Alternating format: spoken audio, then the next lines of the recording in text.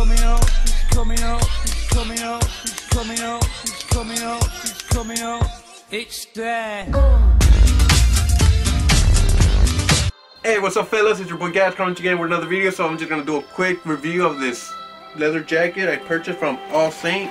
This one right here. And the reason why I'm doing a quick video is because I'm gonna go return it and get another leather jacket.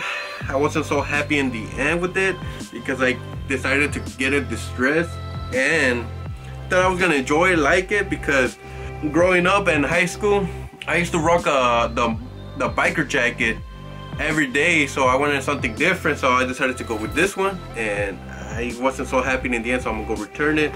I mean it's great and everything the fitting. Actually let me put it on. I love how it fits how it sits on my body. They weren't kidding when they said that All Saint has one of the best fitting jackets out there and you know it's true. Check this out. I really like how it fits. And the trip about this leather jacket that you actually size down? Not really but because I did try all the other ones and I noticed that this one just a cargo black leather jacket this one's a sheep 100% sheep leather. So this one has stretch to it. Look it has stretch. You can actually hear the stretch.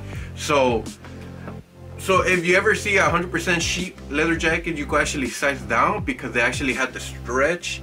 You really don't have to um you know wear them in. And that's what I like. That, I think that's why I went for this jacket because I like how you know it doesn't give me those restrictions that you know when you size down on a jacket or a leather jacket it gives you. And I guess that's why I decided to go with this one because I really like the fit but I don't know. I think I'm just gonna go back and just get the classic one. But overall I like it this jacket retails for 450 on All Saints. I'll have it linked on the description. And yeah, I'm gonna go see if I could trade it for another one and do an update. But anyways, before I go return it, I'm gonna show you how it really looks on me.